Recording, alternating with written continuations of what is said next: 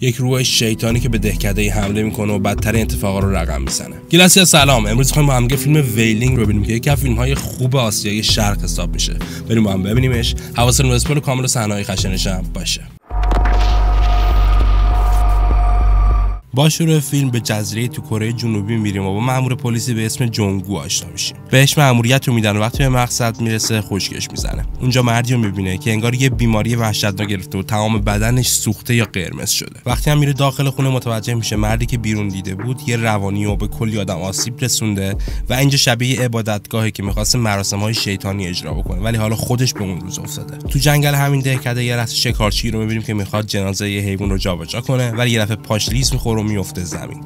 در حالی که افتاده طرف دیگه رو نگاه می‌کنه و با یه مرد دیگه مواجه میشه که به شکل وحشتناک نشسته روی زمین و داره از جنازه یه حیوان دیگه تغذیه می‌کنه. یه دفعه با هم چش چش میشن و این مرد سعی می‌کنه خودش رو قایم کنه اما موفق نمیشه. چون مرد روانی از طرف دیگه بهش حمله می‌کنه. اسم این روانی هم مرد ژاپنیه چون چند تا مامورهای پلیس رو می‌بینیم که دارن با هم صحبت می‌کنن و معتقدن از وقتی که این مرد ژاپنی که انگار یه راهبه هم هستش به این شهر اومده همش اتفاقای عجیب داره میفته مامورای پلیس به اینم اشاره می‌کنن همون مردی که اول فیلم دیدیم پوستش سوخته بود از یه قارچی استفاده کرد که وقتی خوردتش توهم زده و کارهای وحشتناک رو انجام داده. همین لحظه برقها قطع میشن و یه دفعه زنی رو می‌بینن که به شدت آسیب دیده. اما وقتی میدوان طرفش اون از جایش ناپدید میشه.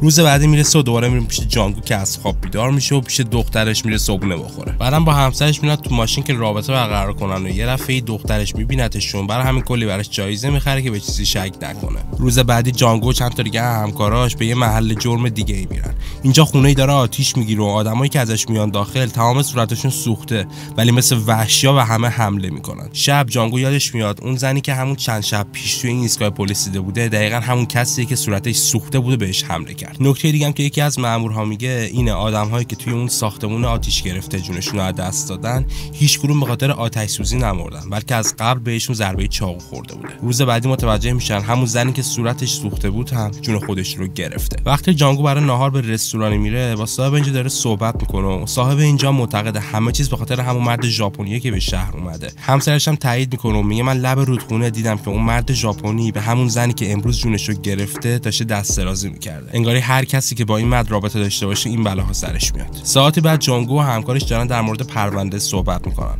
همکارش میگه بهتره بری پیش متخصص پوست تا نظر اونو در مورد این دوتا قربانی بدونی چون هر دوشون نگاری پوستشون به فنا رفته بوده. با رفتن همکارش جانگو تنهاست که زنی سر می‌رسه و می‌خواد بهش آماری در مورد پرونده بده. جانگو دنبالش راه میفته و هرچی می‌پرسه اسم چیه اون جوابی نمیده. این زن عجیب جانگو رو به داخل خونه می‌بره که آتیش گرفته. حالا شروع می‌کنه به عدو در آوردن و بهش میفهمونه که چه اتفاقی برای آخرین قربانی اینجا افتاده. بعدم به جانگو میگه اون مرد ژاپنی یه روح خیلی قدیمیه که میاد از آدمها تغذیه می‌کنه و بدنشون رو خشک می‌کنه. بعدم بهش اختار میده که اگه یه موقع دیدی داره دنبالت میگرده و هر جا میری هستش بدون در حال تعقیبه و ممکنه خیلی بلای بدی سر خودت یا دور بیاد. یه دفعه همکارش زنگ می‌زنه و وقتی تلفنش تموم میشه و برمیگرده زن از جاش ناپدید شده. حالا اون طرف درختها مرد ژاپنی رو در حال خوردن لاشه یه حیوان دیگه می‌بینه. با وحشت از جاش میپره بیرون. اما یه دفعه می‌خوره زمین و مرد ژاپنی به سمتش میاد. وقتی بهش حمله می‌کنه جانگو فریاد می‌زنه و می‌فهمه همه اینا یه کابوس بوده. نکته دیگه که در مورد خانواده جانگو می‌فهمیم اینه که دخترش مریضه و همسرش براش داروهاشو گرفته. لحظاتی بعد هم صدای بار زدن یه موجود بزرگ رو روی سقف خونه میشنون اما بعد مدتی همه جا ساکت میشه.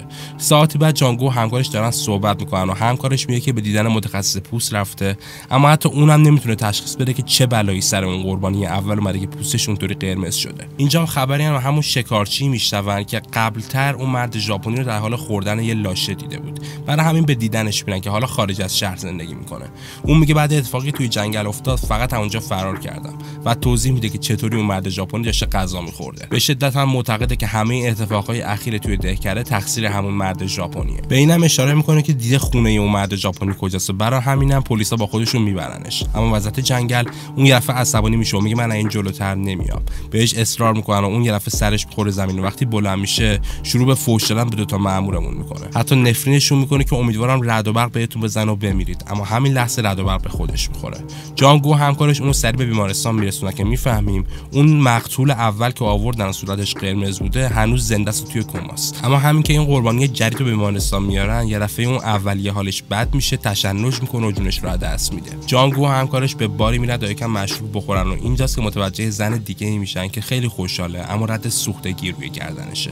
یه چیز دیگه هم که برنامه میریزن اینه که فردا به خونه مرد ژاپنی برن که حالا آدرسش پیدا کردن. شب که جانگو به خونه میاد یه دفعه می‌بینه دخترش داره تو خواب فریاد می‌زنه و مدام بدنش رو میلرزونه. با هر سختی هست بیدارش می‌کنه که دخترشون رو در آغوش می‌گیره و میگه یه مرد عجیب می‌خواست بیاد داخل خونمون. صبح شده و وقتی جانگو میاد بیرون می‌بینه که دخترش و همسرش کنار مادرش دارن غذا می‌خورن. مادر جانگو اونو بیرون می‌کشه و بهش میگه یه اتفاقی برای دخترت افتاده. اون هیچ وقت تو زندگیش ماهی نمیخورده اما الان خیلی راحت داره این کار رو انجام میده. به نظرم باید یه راهب کمک بگیرم چون اتفاقات اخیر خیلی عجیب غریب شدن. جانگو هم با مردی به اسم سینبو هماهنگ می‌کنه که بیاد اونجا یه راهبه. اول همه هم با همدیگه همراه همکارش به همون مرد ژاپنی میرن و شروع به گشتن اینجا می‌کنن. یه لحظه هم سگی به همکارش و سینبو حمله می‌کنه که به سختی ازش جدا میشن. جانگو داره داخل رو میگرده که متوجه کلی لوازم هر دوتا قربانی اخیر میشه. یکیشون همون مردی که صورتش قرمز شده بود یکی هم همون زنی که صورتش سوخته بود. انگاری این مرد ژاپنی بارها ازشون حتی عکس هم گرفته. با دیدن یک کف شرفی شوکه میشه و اونو همراه خودش برمیداره. لحظاتی بعد مرد ژاپنی سر می‌رسه و این سه نفر اینجا خارج میشن. همکار جانگو کفش نشون میده که همکارش هم خیلی شوکه میشه. وقتی به خونش می‌رسه متوجه میشیم این کفش برای دختر خود جانگو بوده. ازش پرسه کفش رو گم کردی یا نه که دخترش هم جوابی نمیده. آخر شب جانگو دفتر نقاشی دخترش رو برمیداره و نقاشی وحشتناک اون رو می‌بینه. تو بعضی صفحات حتی رد سوختگی وجود داره. بدن دخترش هم چک می‌کنه و متوجه همون جوش ها و ردهای قرمزی رو همه جا میشه. یه دفعه دختر بیدار میشه و شروع به فریاد کشیدن و فوش دادن به پدرش می‌کنه. همسر و مادر جانگو میان اونو جدا می‌کنن میبرنش بیرون و دختر همچنان فوش میده و میگه خیلی زود جون همتون رو می‌گیرم. روز بعدی جانگو هم راهبه یعنی سینبو دوباره به خونه مرد ژاپنی میرن. منتها این بار همه چیز از اونجا رفته و هیچ عکس و یادگاری از قربانی ها وجود نداره. جانگو شروع به هم ریختن تمام لوازم خونه می‌کنه و حتی سگ این مرد ژاپنی که بهش حمله می‌کنن هم جونش رو می‌گیره. بعد میره سراغ مرد ژاپنی و بهش میگه سه روز وقت داری تا از این شهر کلا بری. اونم فقط نگاهش می‌کنه و باز حرفی نمی‌زنه. روز بعدی جانگو با جیغ همسرش بیدار میشه. همسرش جلوی در داره به لاشه حیوان نگاه می‌کنه. خود جانگو می‌خواد بره سمتش اما از جاش نمی‌تونه حرکت کنه. مادر و همسرش اونو به یه طب سوزنی می‌برن که می‌خواد حالش رو خوب بکنه و در همین حال جانگو می‌پرسه دخترمون رو کجا گذاشتید؟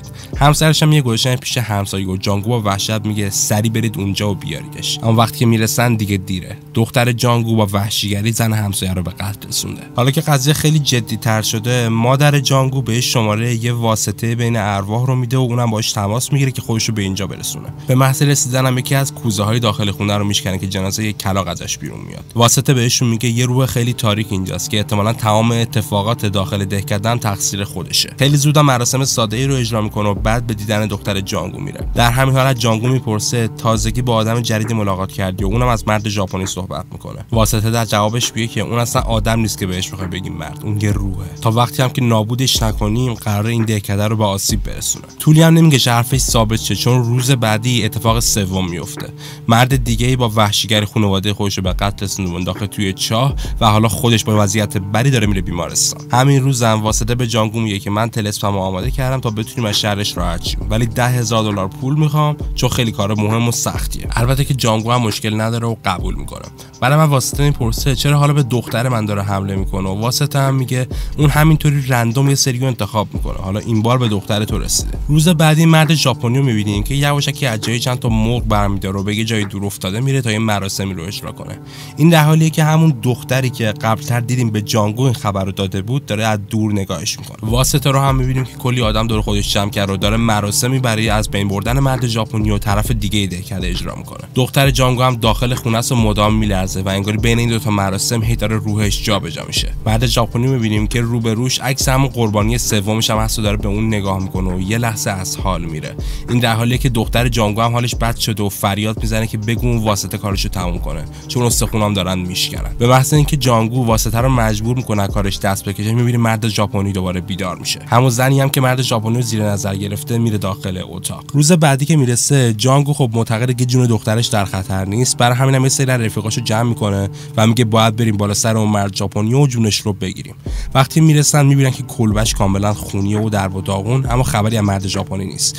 بیرون کلبه هم یه همون قربانی سوم که حالا شبیه زامبیا حرکت می‌کنه بهشون حمله می‌کنه که جونش رو می‌گیرن. مرد ژاپنی می‌بینن که وسط جنگل داره نگاهش رو می‌کنه و سمتش حمله می‌کنن اما به لبه پرتگاه می‌رسن و از صدایی که میاد مطمئن میشه مرد ژاپنی پریده پایین. قافل از اینکه پایینتر از همینجا یه گوشه رو گرفته و هنوز زنده مونده. با رفتن جانگو و رفیقاش مرد ژاپنی میاد بالا که همون زن در حال تعقیبش رو دوباره می‌بینه و باز از اونجا فرار می‌کنه. جانگو و رفیقاش دارن با ماشین برمیگردن. یه لحظه چیزی رو ماشینشون میفته و وقتی می‌زنن بغل متوجه میشن همون مرد ژاپنیه که حالا افتاده رو زمین و جونش رو از دست داده.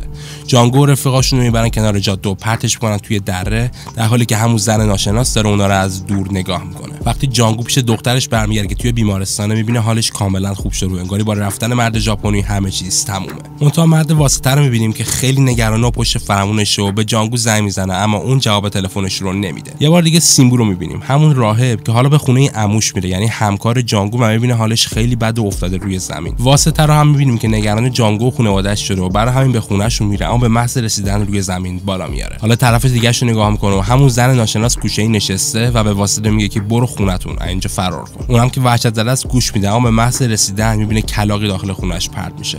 لوازمش رو جمع می‌کنه و می‌خواد با ماشین کلا از این دهکده فرار کنه و وسط راه یه عالم ملخ حمله می‌کنن روی ماشین میشینن که دیگه نمی‌تونه ادامه بده. اما وقتی به سمت دهکده دوباره برمیگرده ملخ ها از بین میرن.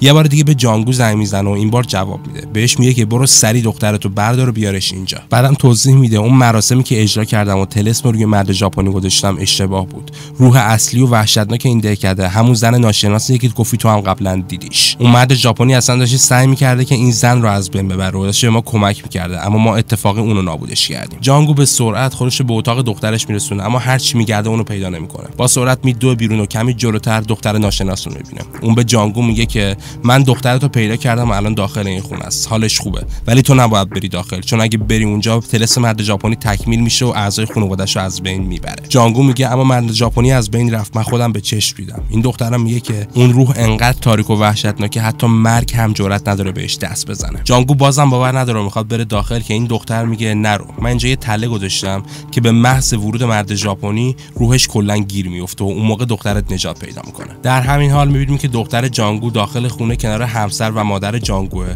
و داره با وحشیگری غذا می‌خوره. اونا با وحشت فقط نگاهش می‌کنن. انگاری تلس زمانی تکمیل میشه که تمام اعضای خانواده این دختر کنارش باشن از جمله پدرش. دختر دوباره به جانگو میگه زمانی مرد ژاپنی حمله می‌کنه که خروس سه بار خودش صدا در بیاره و همین لحظه صدای اول در میاد. وسط همین درگیری یه لحظه سیمبو رو هم می‌بینیم که دوباره به خونه مرد ژاپنی رفته.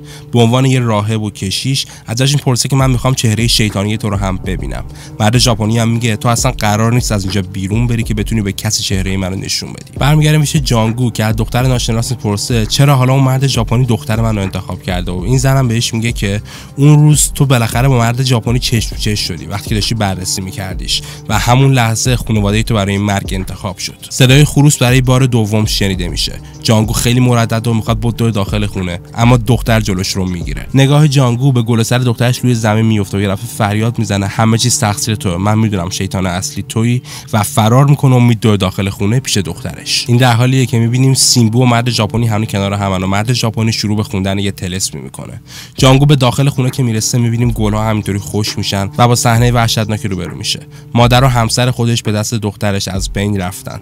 میشینه گوشه خونه و فریاد می‌زنه و دخترش می‌خواد که کار خودش رو هم تموم بکنه. دوباره برمیگردیم پیش سیمبو. مرد شیطانی داره ازش عکس می‌گیره و یه دفعه چهره واقعی و وحشتناک خودش رو نشون میده. طلوع آفتاب می‌رسه و می‌بینیم واسطه بعد ساعتها رانندگی بالاخره به خونه جانگو رسیده. میره داخل و کنار دختر جانگو رد میشه و بدون هیچ حرفی شروع به عکس گرفتن از قربانی ها می‌کنه. وقتی میاد داخل ماشین جعبه ای رو برمیداره که متوجه عکس تمام قربانی های قبلی هم میشیم. یعنی در واقع این مرد واسطه یکی از همکارهای مرد ژاپنیه. اینجاست که فیلم به پایان می‌رسه. یه سری جا خوندم که این فیلم برای اختلافات بین کره و ژاپن ساخته شده برای همین مثلا اسم اون شخصیت رو گذاشتن مرد ژاپنی. یعنی شما برید cast این فیلم رو هم search بکنید به عنوان نقش این مرد نوشتن Japanese man دوره‌ای که مخصوصا توی جنگ جهانی دوم یه اختلافات خیلی بزرگی بود و خیلی به هم دیگه آسیب میرسوندن. اما به هر حال که از فیلم‌های خوب ترسناک به ما تحویل داده که توش مدام هی حدس می‌زنیم و به آدم‌های مختلف شک می‌کنیم و در آخر هم دیدیم اون واسطه که فکر کردیم خیلی خوبه خودش با مرد ژاپنی همکاری می‌کرده. و فکر کنم سه بار دیدگاه ما رو نسبت به این مرد ژاپنی تغییر میده که خیلی به نظرم چیز خاص و خفنیه. من زیاد دیگه حرف نمی‌زنم صدام اصلا در نمیاد. فکر کنم 5 ساعت 6 ساعت ضبط خلاصه طول کشید. یه like کنید خستگی داره دوستتون دارم. subscribe یادتون نره روزتونم گلسی